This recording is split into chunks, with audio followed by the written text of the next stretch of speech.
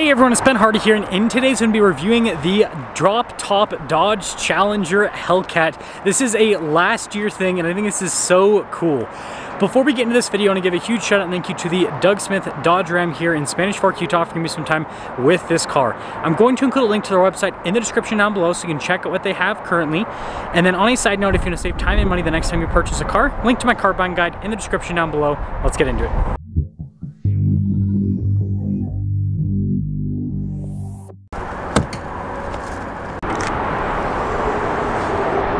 So powering this is a supercharged 6.2 liter V8 that goes through an 8-speed automatic transmission.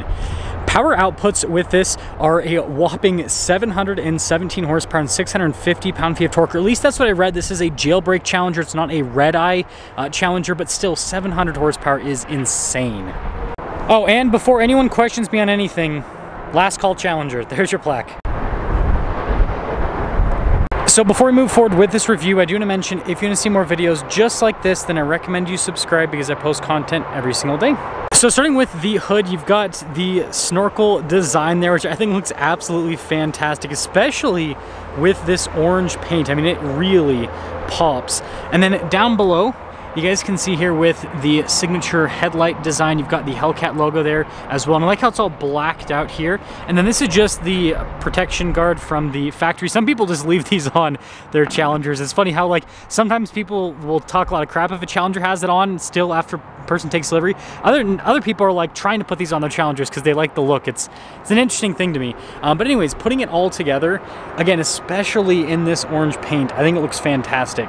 Now around the side here, our turn wheel setup is 305, 35, 20 in the front and over in the rear. And you guys can see here with the wheel design, again, looks fantastic with the metallic gray. I like how the brake calipers are actually orange as well. Brembo brakes, for those of you that are wondering.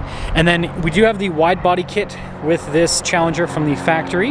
Got the Hellcat badge there on the side. And if we take a few steps back, you can see the full side profile here with the wide body and the convertible looks crazy and I will say I think this is one of the first convertibles that I think looks good and I think a big part of why this actually works is because the Challenger's so boxy with the design that the top kind of matches a lot of the body lines you have with the car.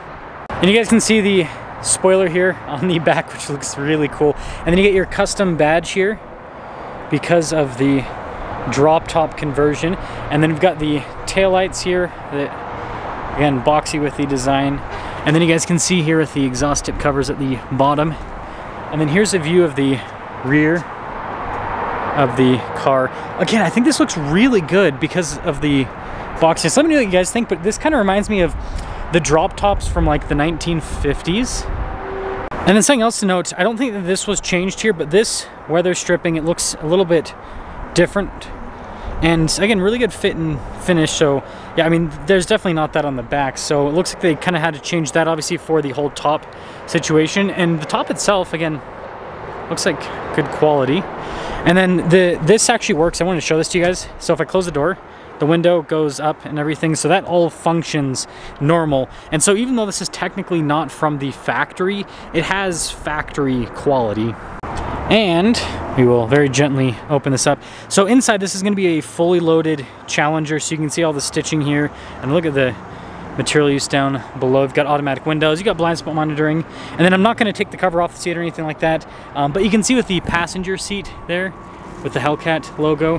Um, but yeah, bucket type design and everything, partially power adjustable. And then this does have rear seats, kind of peek in there, which, I mean, this would be the best Challenger to have rear seats in because if you have the top down, you've got an okay amount of legroom in the back of the Challenger. You could actually, you know, have enough headroom. It'd be great. And then normal looking pedals down below. And then this is the system for the top. You can see the buttons added.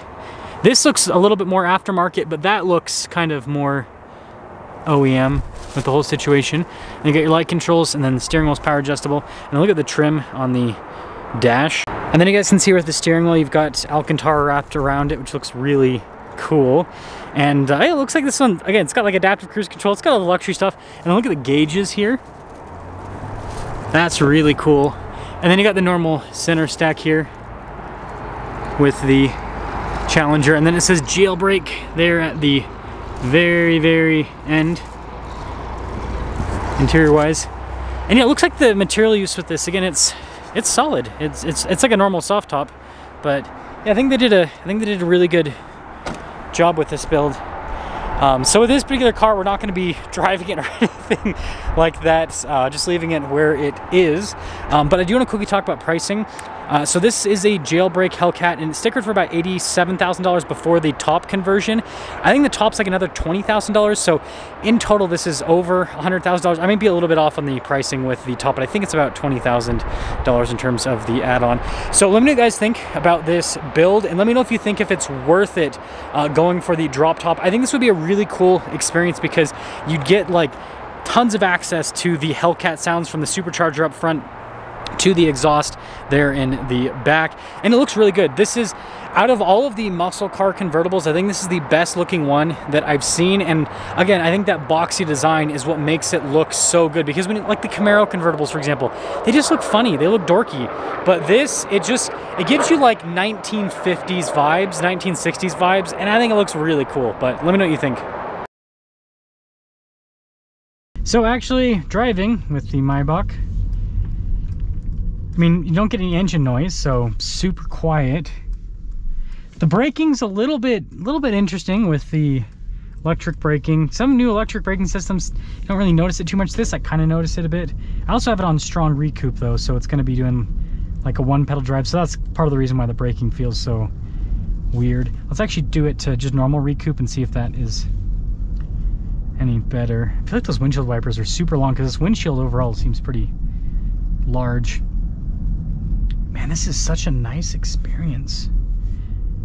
It's just so quiet.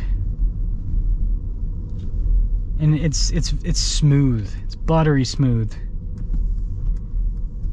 With this, I'm impressed. Does this have like a oh it's got a sport mode. That's cool. We'll see kind of how that performs once we're up and moving.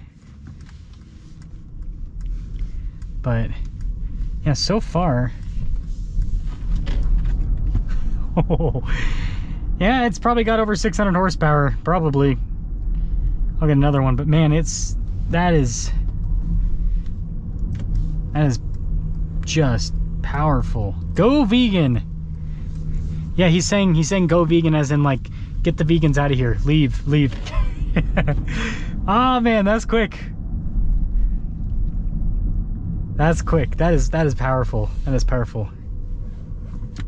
Sorry, I had to make I had to make fun of the I had to make fun of the sign. Also, actually